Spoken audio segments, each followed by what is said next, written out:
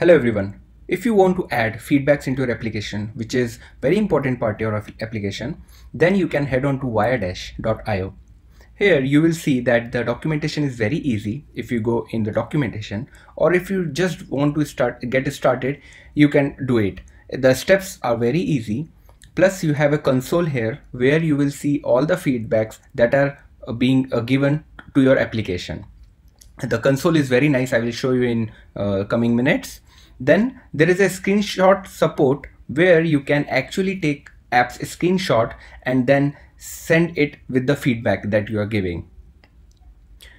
Now if we come down we can see that it is free for developers. Like if you are not a prof prof profit booking organization you can uh, sign up for free as I have done it and uh, for startups it is 49 pounds and for enterprise it is 129 pounds per month. So it is pretty good deal because the features that it is providing it it is very soothing for us. So we will go to console and get started with this. You can sign up with Google as I will do now in front of you. So you can sign up.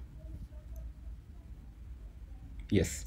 Now you can create a new project which I would say demo show app then create project. It will take very less time.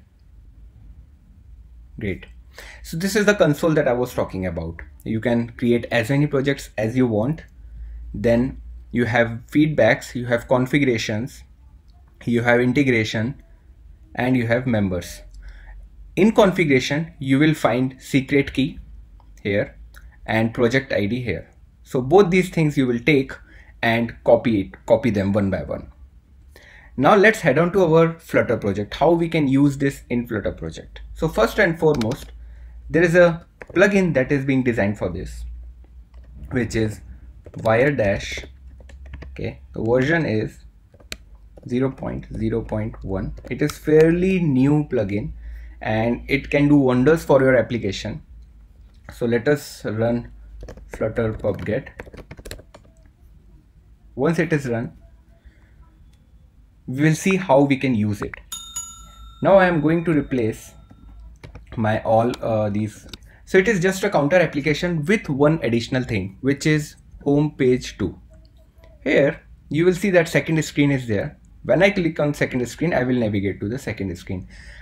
I have added this because I want to show you certain aspects of this uh, plugin that's why. Okay.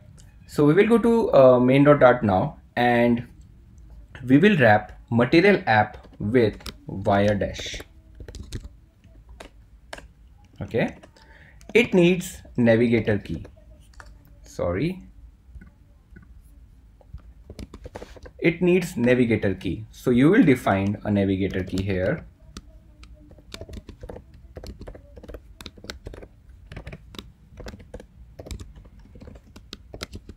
with navigator state okay. And you will provide navigator key at this place as well as in your material app as navigator key and not key. Okay.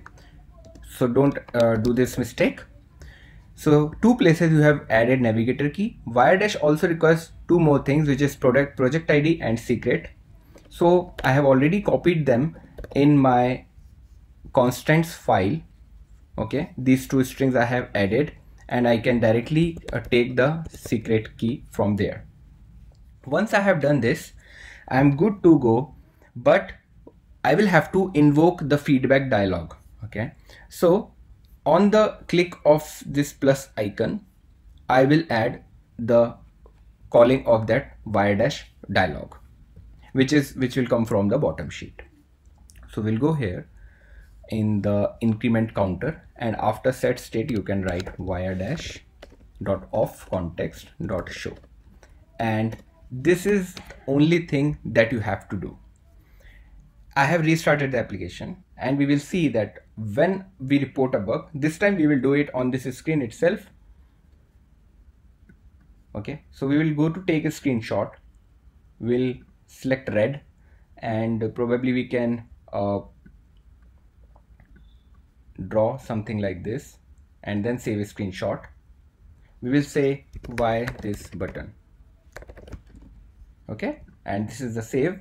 You can again send the feedback without email id i will show you when you can and how you can configure it at one place.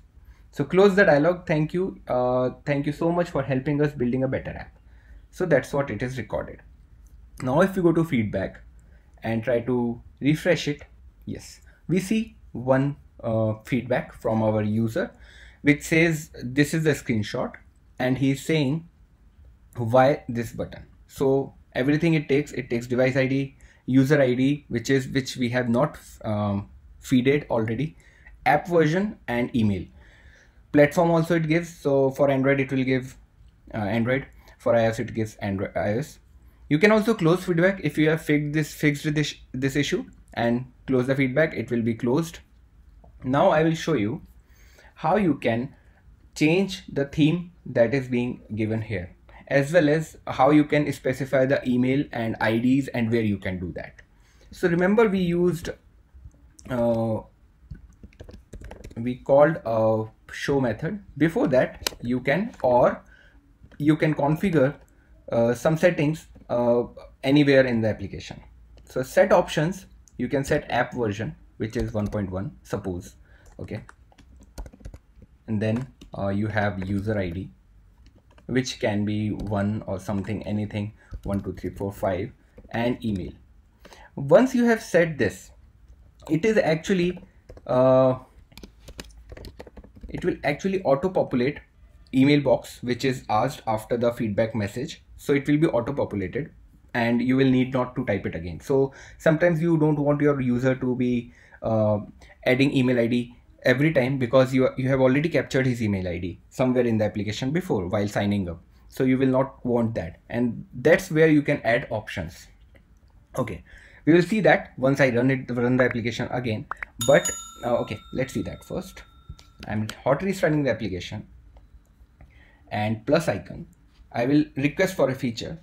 Or you can say i will just uh, skip it I will cancel it. I will send applause. I am just wanting to thank you for the application that you have created.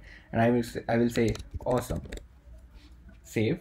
And then the email ID that I gave is already there. If I send the feedback, feedback will be sent automatically and I can close this dialog or I can just uh, drag it down. It will be all done. And if we refresh the page again, this time it will not be a bug. It will be a praise. Okay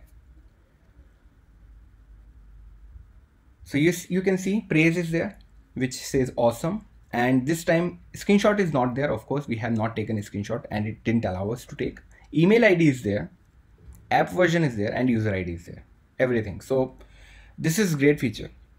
Uh, integrations will come in future. Members you can add many members to it. Uh, they will also come uh, in future.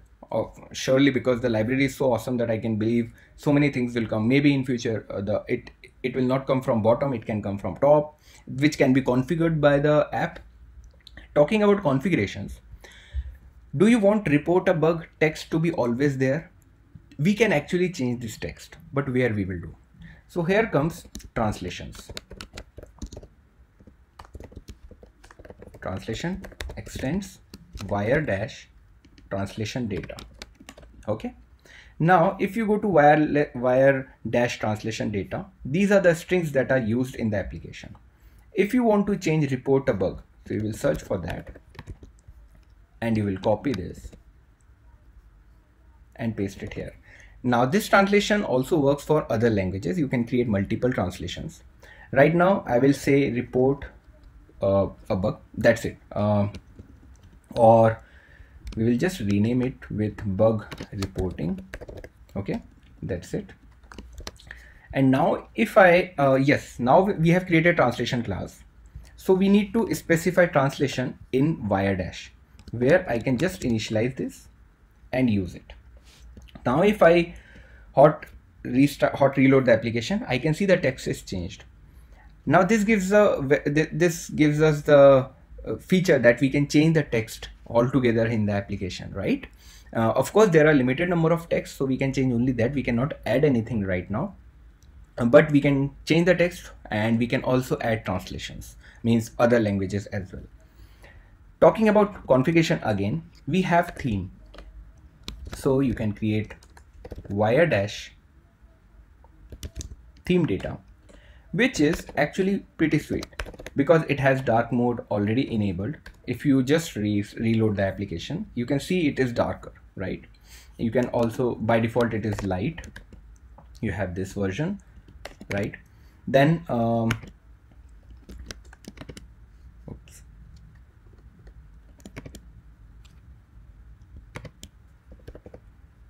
oh my keyboard again changed. That's why it was failing. Okay so primary text color primary color it can be according to your app theme. So i will say i want primary color as blue accent and this color, color got changed. Similarly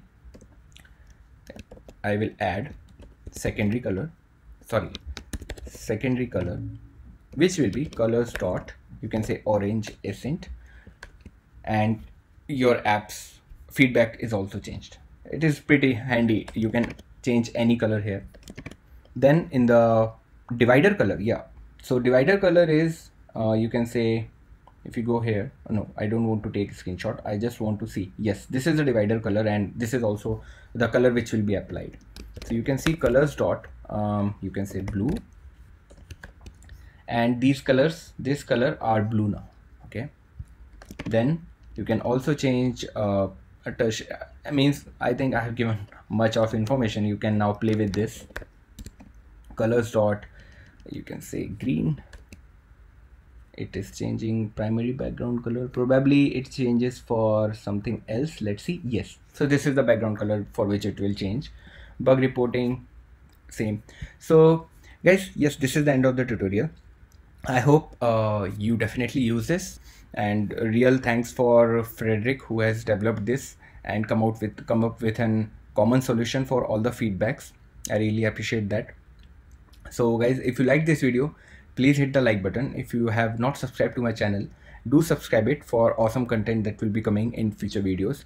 And yes i'm signing off from here and thank you